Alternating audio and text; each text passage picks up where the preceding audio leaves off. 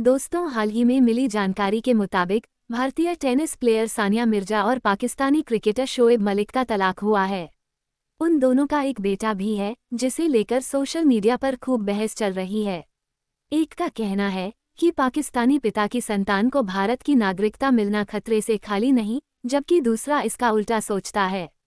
आप लोगों को तो पता ही होगा कि सानिया मिर्ज़ा ने टेनिस में भारत का नाम बहुत ऊपर पहुँचाया है लेकिन साल 2010 में उन्हें काफ़ी गुस्से का सामना भी करना पड़ा था।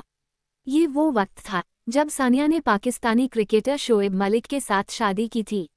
चौदह साल बाद ये शादी आधिकारिक तौर पर अब टूट गई है। सानिया काफ़ी समय से शोएब से अलग होकर दुबई में अपने बेटे इजहान मिर्ज़ा मलिक के साथ रह रही हैं। इजहान को लेकर सोशल मीडिया पर काफ़ी चर्चा हो रही है कि क्या तलाक के बाद सानिया अपने बेटे को लेकर भारत लौट आएँगी क्या उसके बेटे को भारत की नागरिकता मिल पाएगा या नहीं? चलिए इन सभी सवालों के जवाब इस वीडियो में हम जानेंगे। चलिए जानते हैं, सानिया के बेटे इजहान का फ़िलहाल क्या सिटीजनशिप स्टेटस है? फ़िलहाल इजहान का मामला काफ़ी उलझा हुआ है। अभी वे अपनी माँ के साथ दुबई में गोल्डन वीज़ा पर रह रहे हैं। यूएई का ये वीज़ा किसी को लंबे समय तक वहाँ रहने की छूट देता है। इसके कई और फ़ायदे भी हैं, जो सानिया को वहाँ मिल रहे होंगे।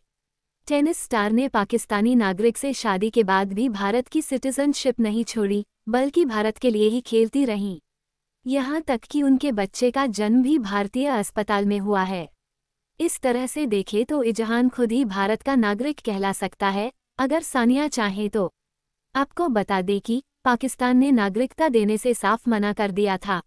दरअसल इजहान के जन्म के बाद पाकिस्तान की खुफिया एजेंसी, फेडरल इन्वेस्टिगेशन एजेंसी ने कहा था कि अगर वो बच्चा भारतीय नागरिकता लेगा तो उसे पाकिस्तान का नागरिक नहीं माना जाएगा। यहाँ बता दें कि पाकिस्तान में दोहरी नागरिकता रखने को कानूनी मान्यता है। बहुत से लोग दो पासपोर्ट रखते हैं, जैसे एक पाकिस्तान और दूसरा किसी बड़े देश का। लेकिन पाकिस्तान का ये एग्रीमेंट भारत के साथ नहीं है।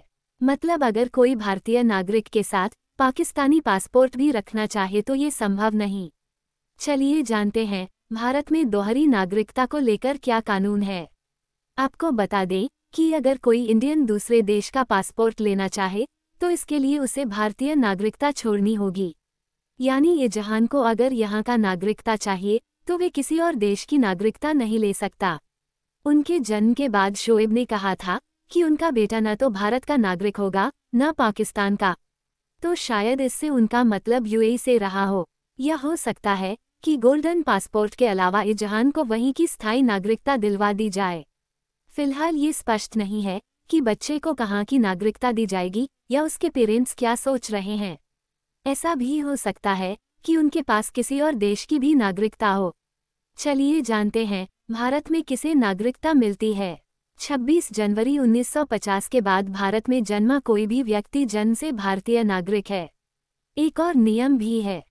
इसके तहत 1 जुलाई उन्नीस सौ सतासी के बाद भारत में पैदा हुआ कोई भी शख्स, भारतीय नागरिक है, अगर उस दौरान उसके पेरेंट्स में से एक भारत का पासपोर्ट रखता हो। देश में जन्म न लेने पर भी नागरिकता मिल सकती है, अगर जन्म के समय माता या पिता में से कोई एक भारत का नागरिक हो।